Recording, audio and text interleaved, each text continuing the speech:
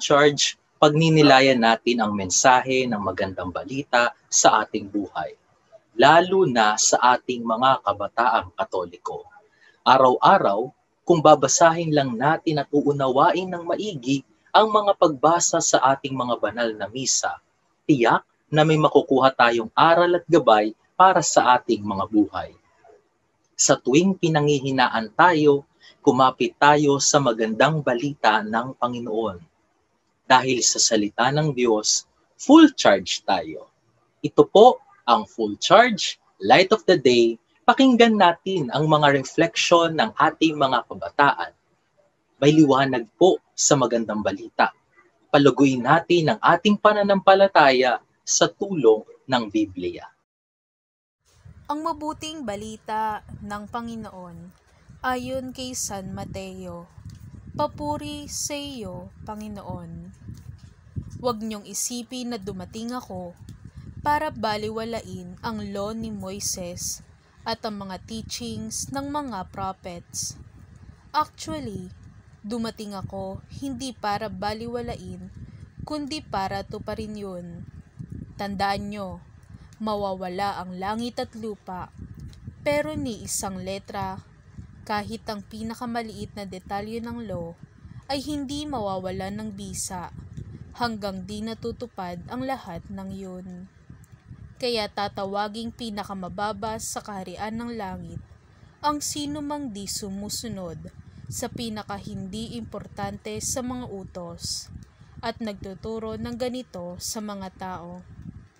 Pero tatawaging dakila sa kaharian ng langit ang sino mang sumusunod sa mga utos at nagtuturo nito sa iba. Ang mabuting balita ng Panginoon, pinupuri ka namin, Panginoong Heso Kristo.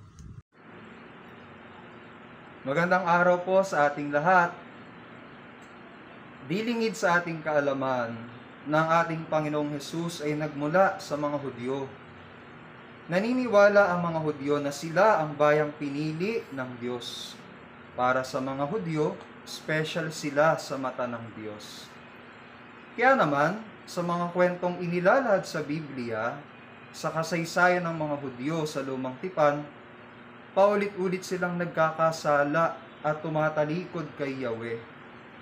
Nariya't kakalingain at titipunin sila ng Diyos tapos ilang panahon lang tatalikod na sa kanya. Matigas talaga ang ulo nila dati, ayon sa paglalahad sa lumang tipan. Upang hindi mawalay sa piling ng Diyos, nagtalaga ang Diyos ng mga batas o kautusan upang sundin nila. Makikita natin ito sa mga aklat ng mga kautusan o yung tinatawag nating Torah.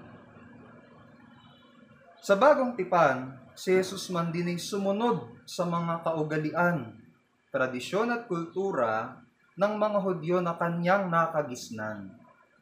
Tumalima rin siya sa mga ipinag-uutos ng kanilang batas. Alam niya na parte ito ng pagiging tao niya. Kahit na siya ay anak ng Diyos, pinili niyang sumunod sa mga ipinag-uutos ng kanilang lahi. Sinasabi nga po sa Pilipos 2, verse 6 to 7, kahit siya'y likas at tunay na Diyos, hindi niya ipinagpilitang manatiling kapantay ng Diyos. Sa halip, pusa niyang hinubad ang pagiging kapantay ng Diyos at naging katulad ng isang alipin.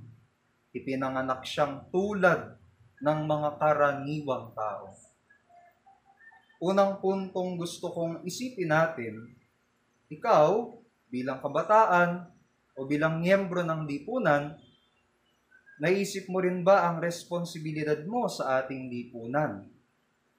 Nakakalungkot lamang maraming kabataan ang hindi sumusunod sa batas, maging sa kanilang mga magulang din.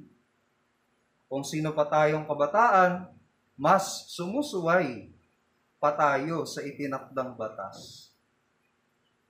Kailan lamang pagka-uwi ko mula sa school, maraming mga nakapilang magulang o nanay sa labas ng aming barangay hall. Ang sabi ng lolo ko na nasa labas din, sila raw ang mga magulang na nahuli ang mga anak dahil sa hindi pagsunod sa health protocols. Kawawang mga magulang, kawawang mga bata.